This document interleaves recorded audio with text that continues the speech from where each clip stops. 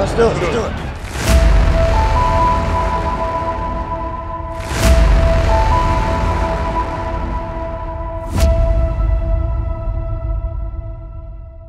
A lot of people don't believe in you. Has been is obvious by you know six other quarterbacks taking it. They're collectively known as the Brady Six. The six quarterbacks that were chosen ahead of the greatest of all time.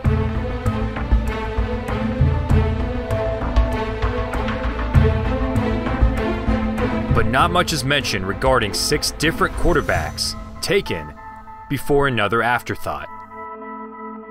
Can you name the guys who were picked ahead of you, Tom?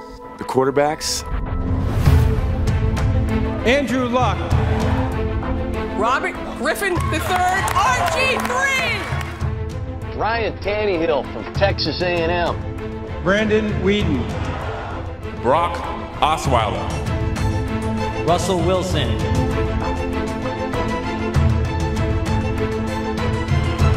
Philadelphia Eagles select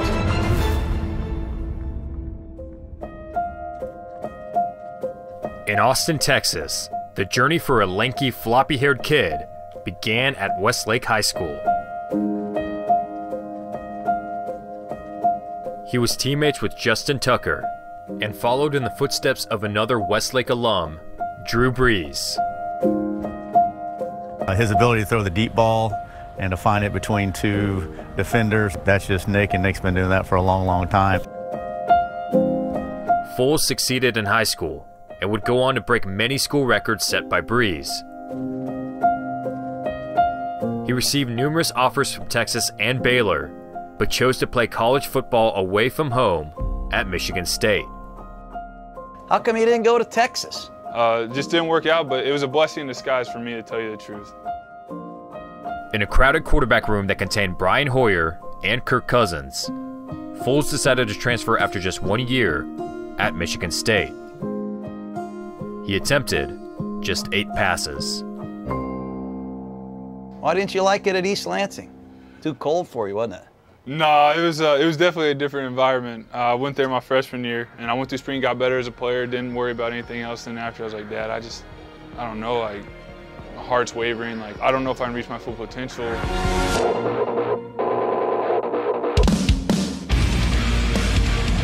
Foles directs a man, he's got a man wide open.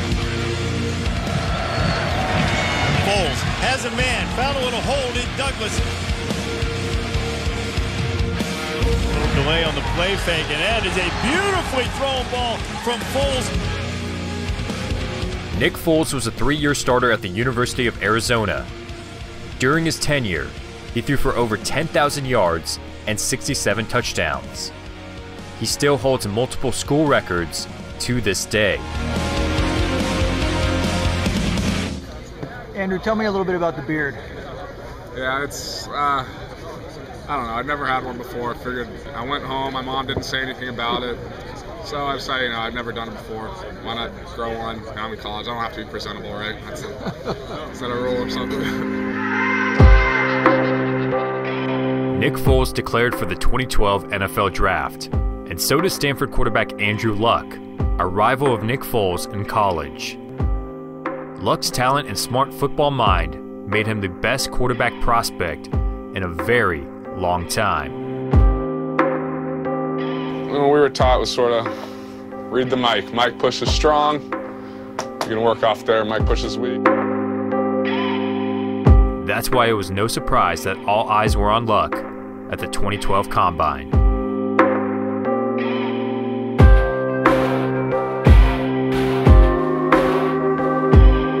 Prototype, NFL ready. Fits the mold for Yeah. sure. Good. Yeah. And pedigree, too. Luck was seen as a predecessor to Peyton Manning, who had spinal fusion surgery. But while the spotlight was on Andrew Luck, Nick Foles was hardly a topic of interest.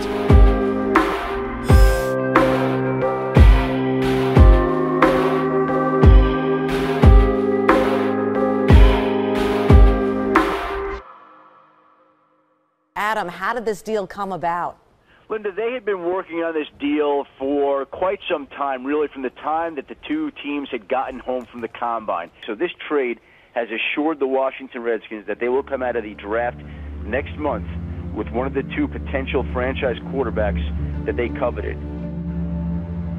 The Redskins made it evident that they would select a quarterback in the draft. Robert Griffin III, the Heisman Trophy winner. Pick it up. Give it a shot. pick it up? Yeah. no, I'm just kidding. There we go. There we go. Yeah.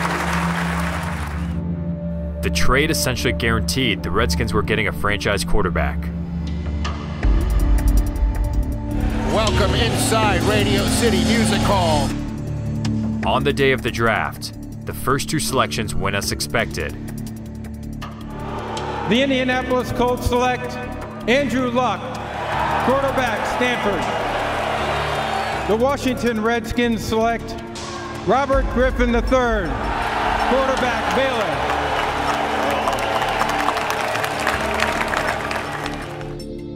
The next best quarterback was Ryan Tannehill.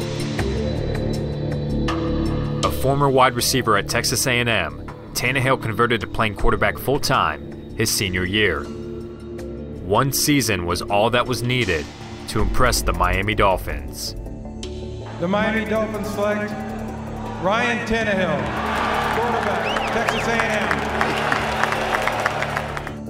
Brandon Weeden played minor league baseball for several years. He then enrolled at Oklahoma State and played quarterback.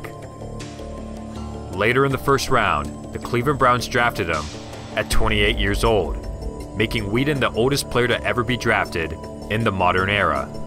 The Cleveland Browns select Brandon Weeden, quarterback, Oklahoma State. The Browns selected him with the now infamous 22nd pick. The Browns have also selected fellow quarterbacks Brady Quinn and Johnny Manziel with the 22nd pick.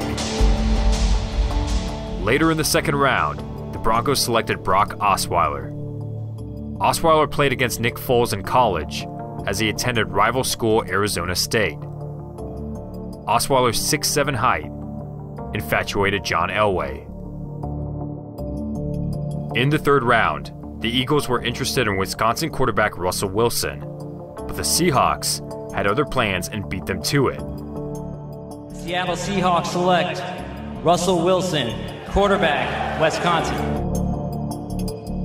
Instead, with the 88th pick, the Eagles settled with Plan B Arizona quarterback Nick Foles.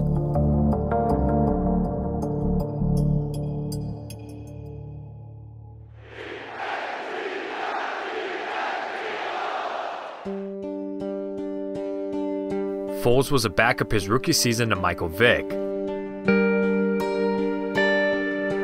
He filled in and showed much promise when Vick was hurt. Foles, pass, and it's in there. Touchdown to Jeremy Maclin, and the Eagles will win. Going into 2013, the Eagles hired Chip Kelly, who implemented a new offensive system. Once Vick was hurt for a second time, Philadelphia never looked back. Here's Foles down the middle to John Jackson. It's caught for the touchdown. Foles keeping, trying to sneak in. He does. Touchdown, Philadelphia. From the six, off the fake toss to McCoy. Foles to the end zone. Touchdown. Oh, it falls on first, throwing for the end zone. Touchdown, It's Jackson. Foles, good protection again. Throws the open man is Stellis. Touchdown. That's seven for Nick Foles. Seven touchdown passes today. And that equals an NFL record. Foles had one of the best seasons for a quarterback in NFL history. 27 touchdowns to only two interceptions, 119 passer rating, which ranks third all time, MVP candidate.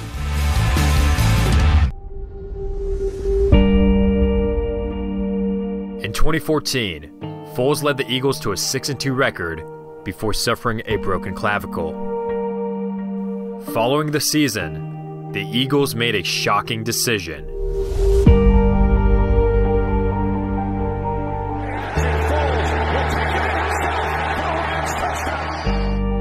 Was known as the craziest five minutes in NFL transaction history. The Eagles traded Nick Foles to the Rams in exchange for Sam Bradford. In 2015, the career of Nick Foles hit a low point. He threw just seven touchdowns in 11 games. Following the season, the Rams drafted Jared Goff as their franchise quarterback, which led to Foles asking for his release after just one year with the Rams. I don't know what to make of Nick Foles. I think he's a very uneven player. Foles was starting to lose the passion, contemplating retirement. I, I was going to stop playing the game. Like, if I don't love this and it's not in my heart, I can't do it. But a heartfelt letter from his wife changed his perspective. You know, my wife wrote me a letter, and in the letter, she just talked about, you know, wanting me to go back and play, but not to be out there and play, but because she knew I wasn't finished yet. That she knew that I had so much going on in my heart that I had to face my fear, basically, because it was almost paralyzing to go back and play. Foles played the 2016 season in Kansas City under his former head coach Andy Reid. He backed up Alex Smith and appeared in just two games. In 2017, Foles returned to Philadelphia. Under a new head coach, Doug Pederson, the Eagles became contenders. Championship on three. One, two, three. Championship. Believe it, man. Believe it. Opening day 2017 National Football League season. And 581 spins away under pressure. Now he fires downfield and it's caught by Nelson Agholor. I don't know if they have the firepower to compete with the New York Giants. It's good. Philadelphia wins it. Right. So all we got to do is what we were trained to do. Period. And we will execute. Gets up the sideline. They He's burning again. Can anybody get him? What a return.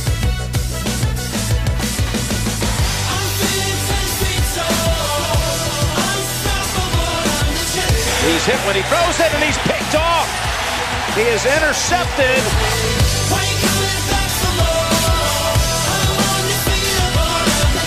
And he's in trouble. Wentz will be escaping from the 18-yard line.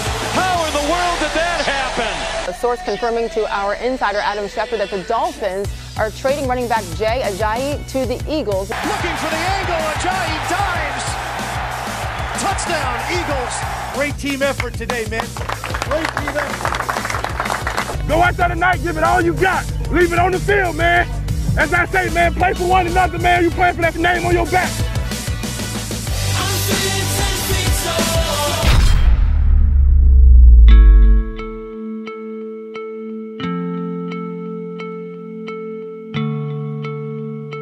Watch his legs and his body just fold on that hit by Barron. Nobody wants to see this. Carson Wentz is going off to get looked at. And the Eagles are very concerned. I'm told that they fear it is a left ACL. You cannot lose the league MVP and still go win the Super Bowl. Just can't.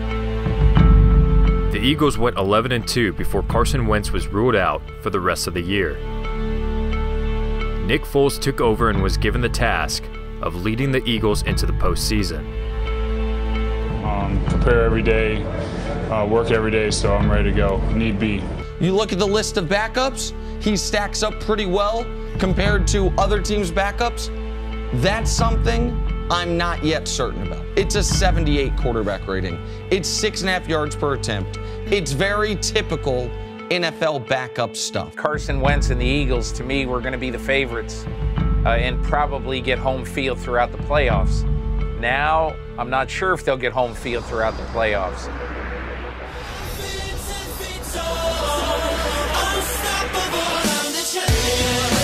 For the next four hours, the is locked in here. Okay. They can't go home until we're done with them. Let's go. This is the season right here.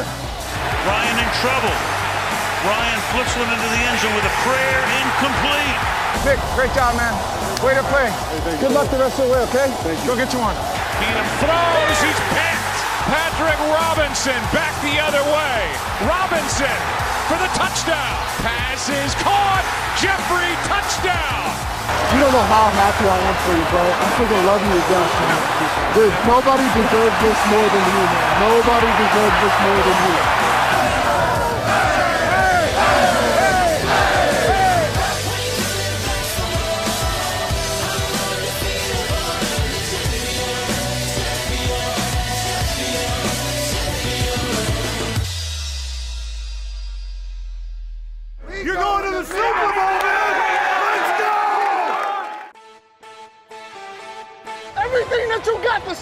For 60 minutes, that's all that stand between you and immortality.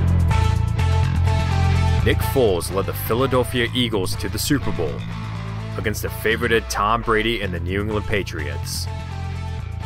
The two men, who had six quarterbacks drafted ahead of them, would go face to face on the biggest stage.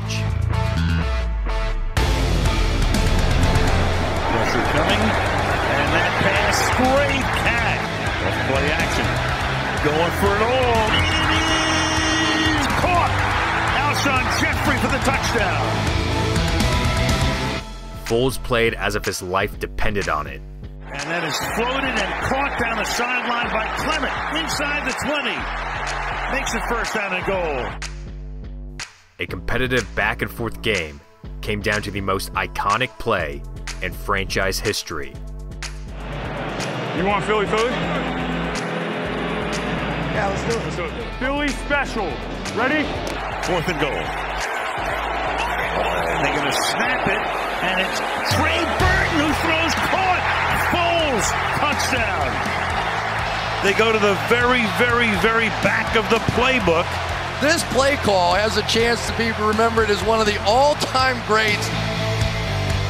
For the remainder of the game, Foles continued to deliver. Corey Clement, yes, touchdown. Caught over the middle and into the end zone. Zach Ertz. And for the first time ever, the Philadelphia Eagles were Super Bowl champions.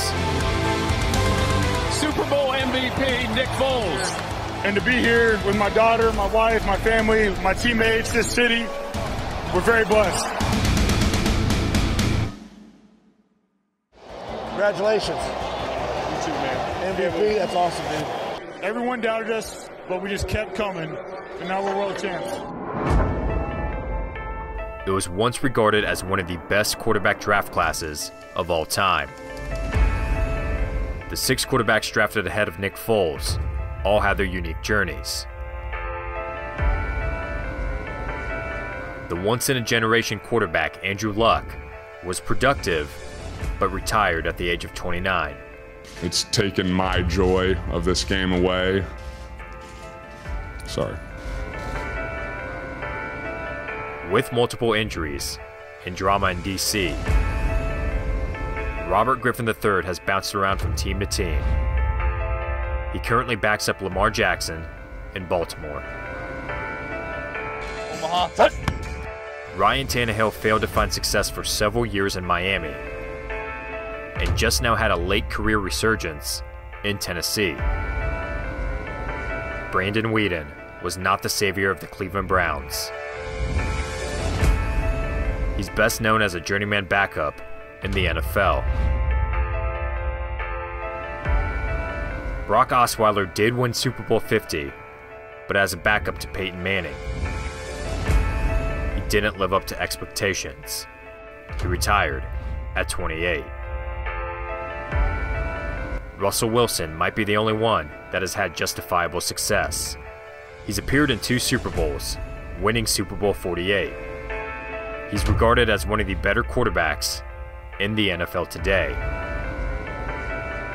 I would have been fine going a different way in life, and I would have done whatever and helped people in any which way possible. But I knew to make more growth, I had to go back in and face that fear and face my failures. Foles steps up, delivers. It's caught! Agholor! Bye bye! Love just means you care for one another unconditionally. You, you have no hidden agenda. You really want what's best to the person next to you. And with that, you can do amazing things. There's going to be people that doubt you. don't listen to them. What matters is what's in here and the people that love you, that support you. Go out there every day and be bold. Be a part of the Philadelphia Eagles. Be a part of these guys. It's one of the greatest things I've ever done in my life. We finally did it. We're Super Bowl champs.